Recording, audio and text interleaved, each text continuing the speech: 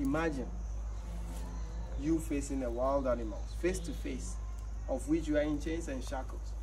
You can't Ugh. run away from them. Also, in the chains and shackles, to bait those animals, they had to look for those who are weak, take them off the chains and shackles and have them tied to trees. Give Mm. them multiple whips. With the blood dripping on them, Mm. these animals will attract them, drawn to your position. Your face, your eyes are wide open, looking at them, coming towards you. They got scared.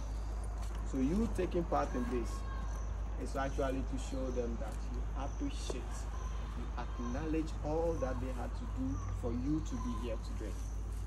That's exactly why we do this. The Bible would say uh-huh. your sacrifice, your surviving that sacrifice allows us to be here today. You good?